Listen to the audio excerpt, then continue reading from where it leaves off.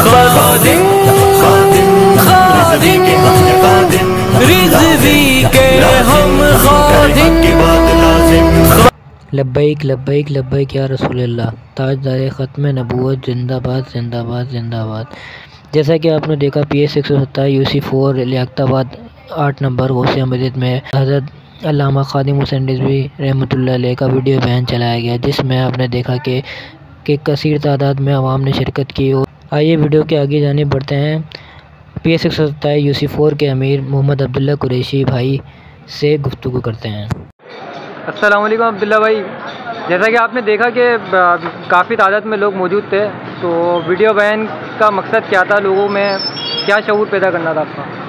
Video बयान का मकसद यही है कि यहाँ पर हजूर आमिर मुजाहिदीन फ़िक्र को ज़िंदा किया जाए। हजूर का जो मिशन था उसको जो है उसके ऊपर यहाँ की जो आवाम है उनको उसका पैगाम पहुँचे ताकि और लोगों को भी हजूर अमीर मुजाहिदीन का मिशन पहुँचे कि भाई ये की खत्म नबूत पर फेरा किस तरह दिया जाता है। आज लोगों ने दीन इस्लाम को फ़कत रमज़ान, रोज़ा, हज, ज़क़़त समझ लिया है कि बस ये से दिन जो मुकम्मल जाती है ऐसा नहीं है।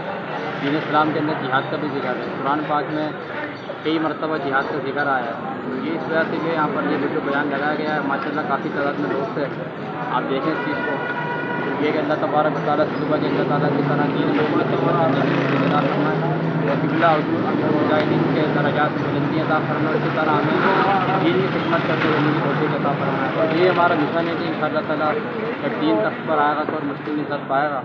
और ये इन दस्तूर है, और ये मुश्किल है बस, हम लोग पी एस एक सौ सत्ताईस यू सी फोर के अमीर मोहम्मद अब्दुल्ला कुरेशी साहब से गुफ्तु कर रहे थे।